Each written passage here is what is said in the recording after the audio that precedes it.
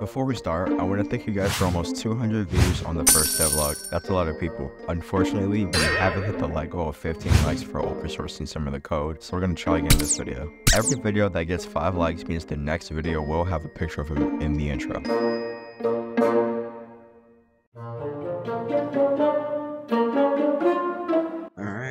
Boosters, I'm Nitro, and uh, this is the second devlog of Nitro Sprinter, but today we have a lot to do.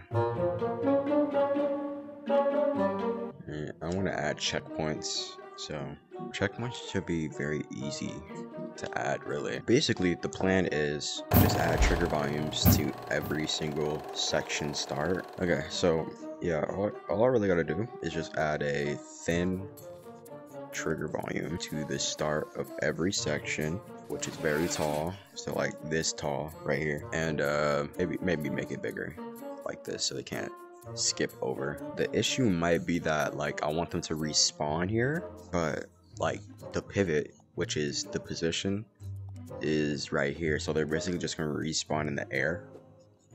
We're gonna we're gonna find out how to we're gonna find out how to teleport them to the ground. Okay i got it how, here's how we're gonna do it. When they cross the checkpoint, I'm gonna just get the player's position where they touch the checkpoint is gonna be saved, and every time they respawn, they're just gonna spawn at that position. run through. Just fall. And uh, for some reason, we do look over there. Is it because? Okay, yeah. So you just have to be looking I, I'm gonna change it where you by default look forward. You know, we have a pretty simple respawn and checkpoint system. Can it be better? Maybe. No, we're just gonna copy and paste this. I'll add sound effects and maybe particles too. Yeah, it keeps the momentum.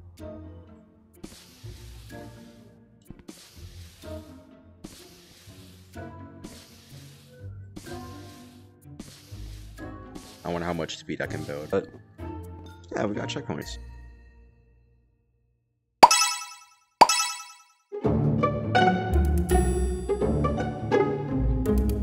Ten. Look how far this is. Okay, we're gonna stop at ten.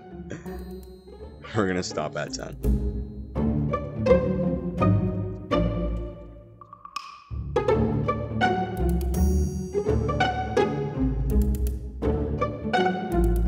Have all of these. And um, before I shuffle them or generate, I'm gonna save because I might have messed up with one of the tags and that might mess everything up. So always name your saves.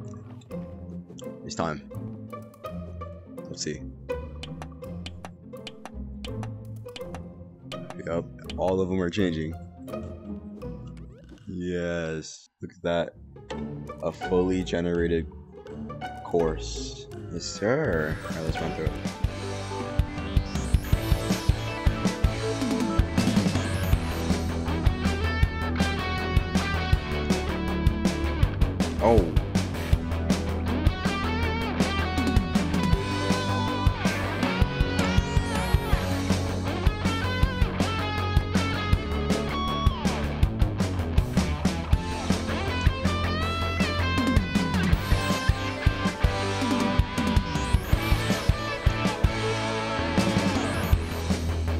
Oh my god.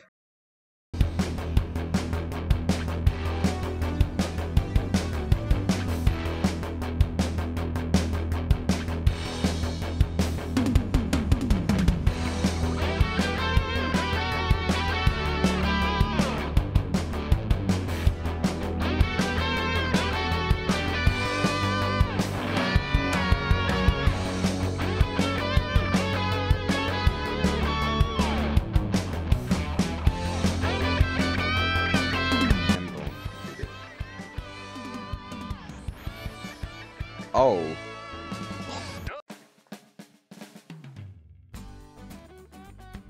What position is like left and right?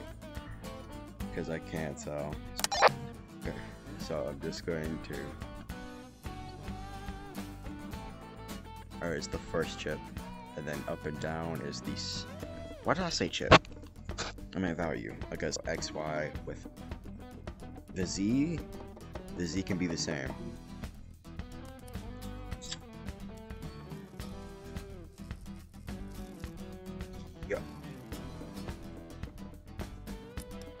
Oh my god, what was that one? I spelt it wrong. Okay, let's see if it tracks my movements or attempts to.